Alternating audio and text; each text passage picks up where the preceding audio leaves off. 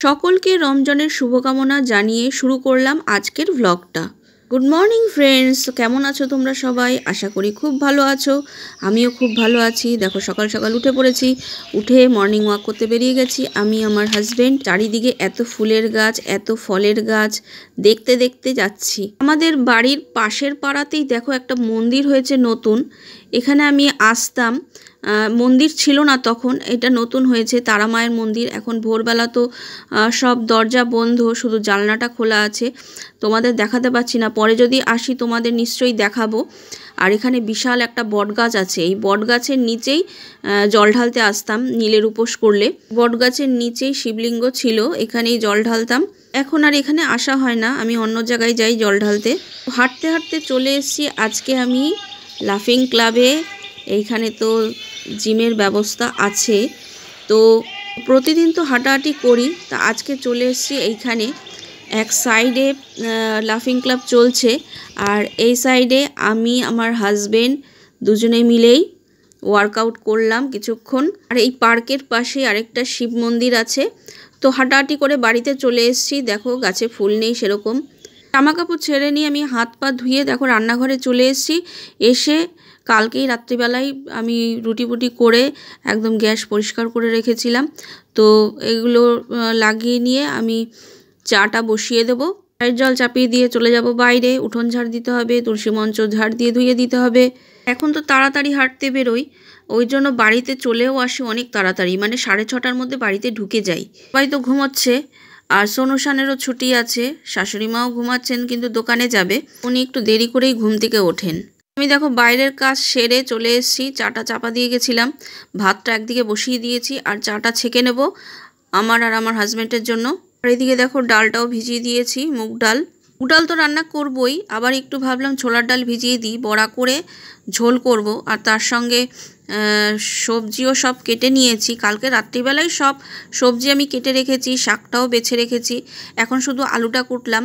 আর শাকটা একটু বেগুন দিয়ে করব ভাবছি। দেখো, শাকটা আমি কুচিয়ে নিয়েছি। আর এখানে রান্না তো করছি। ময়লার গাড়ি চলে এসছে, আমি ময়লাটা ফেলতে গেছি। আর দেখি এই যে আমাদের মিনি এসে চুপ করে চেয়ারের ওপর শুয়ে রয়েছে। খায়ও নি। ওর যেন কত ঘুম চোখে।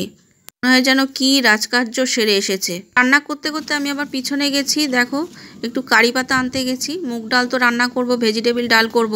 ভাবলাম একটু কারি পাতা সোমবার দিয়ে দিই। খেতে ভালো লাগবে। জন্য আবার রান্না করতে করতে পিছনে গেছি কারি পাতা আনতে।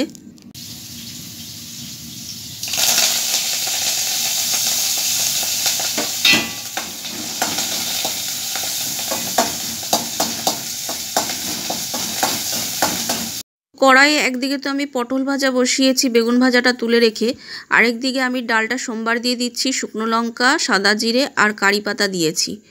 দিয়ে একটু নাড়াচাড়া করে তারপরে আমি ডালটা ঢেলে দেব। নুন, হলুদ, লঙ্কা দিয়েই তো সেদ্ধ করেছি, ফুটে উঠলেই নামিয়ে ফেলব। আরেকদিকে দেখো আমি পটল ভাজাটা নামিয়ে, শুকনো লঙ্কা আর সর্ষে সোমবার দিয়ে আমি শাক ভাজাটা বসিয়ে দিয়েছি। জলটা যখন মজে এসছে, তখন ভাজা বেগুনটা দিয়ে নামিয়ে ফেলব। আরেকদিকে দেখো আমি ছোলার ডালটা নিয়ে নিয়েছি, তার সঙ্গে দুটো কাঁচা লঙ্কা, নুন, হলুদ আর আদা দিয়ে আমি এটা একটু পেস্ট করে নেব মিক্সিতে। মিক্সিতে পেস্ট করে নিয়ে আমি ডালটা একটু ফেটিয়ে তারপরে বড়াগুলো ভেজে নেব। পটলটা তো আগেই ভেজে নিয়েছি, আলুও সেদ্ধ করে নিয়েছি আর দেখো বড়াগুলো সুন্দর করে ভেজে নিয়েছি। এবার মশলাটা কষিয়ে তারপর ঝোলটা করব। তরকারিটা নামিয়ে আবার একটু আলু ভাজা বসিয়েছি আর এদিকে আটাটা মেখে নিয়েছি। দেখো মোটামুটি রান্না করা হয়ে গেছে, শাক ভাজা, বেগুন দিয়ে, আলু পটল দিয়ে, বড়া দিয়ে তরকারি। আর এখানে ভেজিটেবিল ডাল করেছি কারিপাতা দিয়ে, মুগ ডাল, আর এখানে আলু ভাজা করে নিয়েছি। আর তার সঙ্গে সঙ্গে রুটিও করে নিয়েছি। তো আমার হাজব্যান্ড বলল, যাই একটু বাজার দিয়ে ঘুরে আসি। আবার দেখো, সবজি টবজি অনেক কিছু নিয়ে এসছে, মাছও নিয়ে এসছে। আর এই যে জলের মধ্যে ফেলে রেখেছি, এগুলি ধুয়ে রাখব। সানের আবার আজকে একটা ম্যাচ আছে, ওই জন্য খেলতে যাচ্ছে। রান্নাঘরে কাজ সেরে আমি ঠাকুরের বাসনটা মেজে নেব, আর এই ফলগুলো নিয়ে এসছে, এগুলো ধুয়ে রেখে দেবো। ঘর মোছার আগে ভাবলাম ফ্রিজে সব সবজিগুলো ঢুকিয়ে রেখে তারপরে ঘরটা মুছে নেব।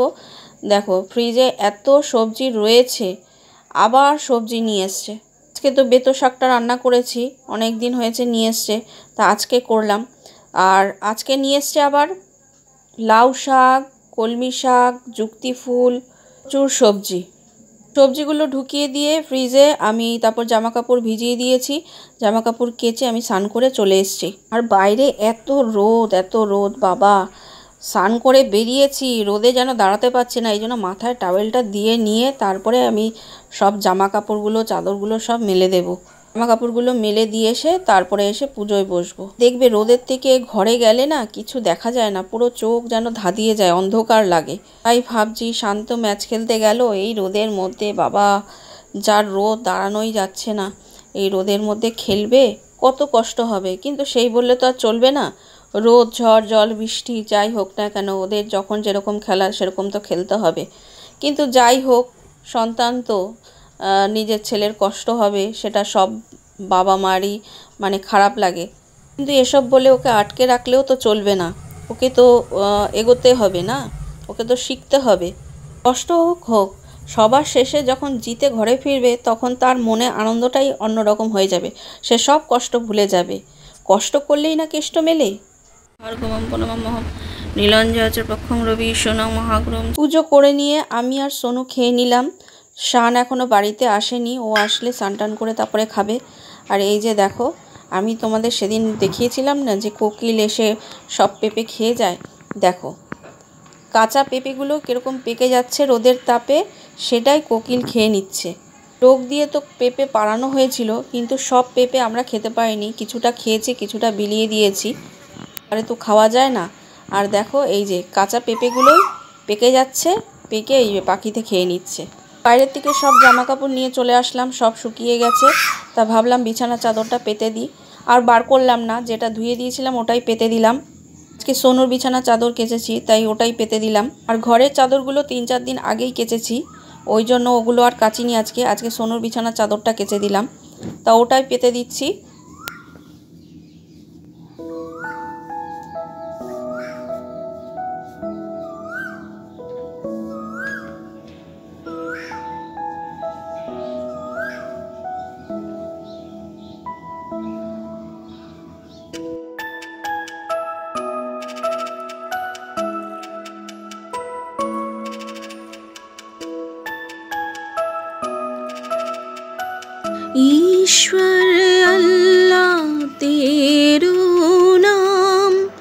सबको সম্মতি দে ভগবান আরে আরে এটা কি দেখতে পাচ্ছ তোমরা সন্ধেবেলায় সন্ধে দিতে বেরিয়েছি তুলসীতলায় সন্ধেটা দিয়েছি আর হঠাৎ করে এক অবিরল দৃশ্য চোখে পড়লো ভগবান বলো, আল্লাহ বলো, যে যেই নামেই ডাকুক না কেন, সব কিন্তু একই। এটাই তার প্রমাণ। দেখো, আমি সন্ধে টন্ধে দিয়ে সকালবেলা তোমাদের দেখিয়েছিলাম, এখান দিয়ে আমি হাঁটতে গেছি তারা মায়ের মন্দিরটা। দেখো, সন্ধেবেলায় এখন সন্ধে পুজো হচ্ছে। তোমাদের ভালোভাবে দেখাচ্ছি মায়ের মূর্তিটা। কত সুন্দর লাগছে।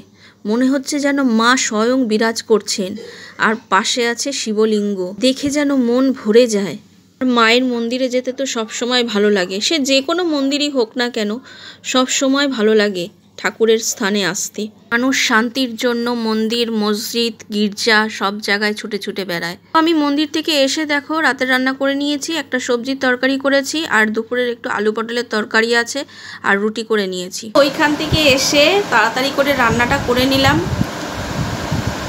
তোমরা তো দেখলে কত সুন্দর মায়ের মুখটা একদম মানে আমার গা শিউরে উঠছিল। আর মানে সন্ধেবেলায় সন্ধ্যা আরতি যখন হচ্ছিল, মায়ের মুখ যেন আরও উজ্জ্বল হয়ে উঠছে। মানে আমাদের ওপরওয়ালা কিন্তু একজনই।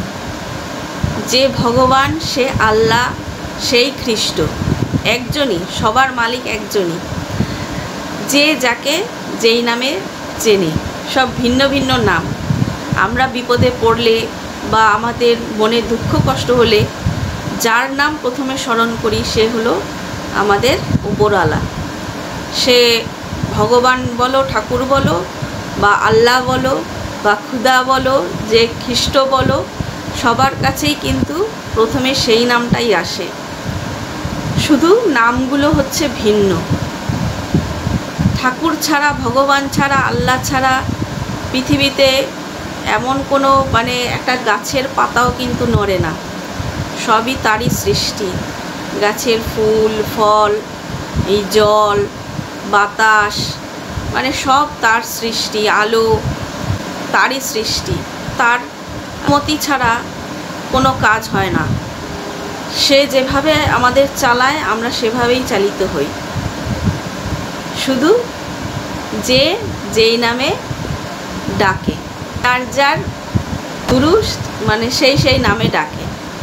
আমরা যেরকম ভগবানকে ডাকি মানে সব ধর্মের আলাদা আলাদা গুরু। যে যেরমভাবে কে তাকে বিশ্বাস করে, তার প্রতি শ্রদ্ধা, প্রতি ভক্তি মানে সব কিছু তার প্রতি। আজকের মতো ভিডিওটা এখানেই শেষ করছি। ভিডিওটা ভালো লাগলে কিন্তু অবশ্যই একটা লাইক করে দিও, শেয়ার করো, আর সাবস্ক্রাইব করে দিও। আবার দেখা হবে নতুন আরেকটা ভিডিওর সঙ্গে। ততক্ষণ পর্যন্ত খুব ভালো থেকো, সুস্থ থেকো। Good night, tata.